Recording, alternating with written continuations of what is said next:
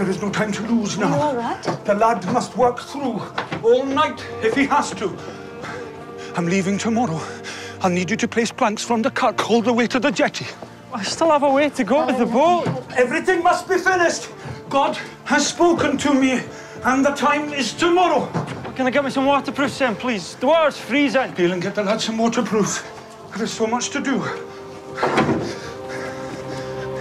And time is running out.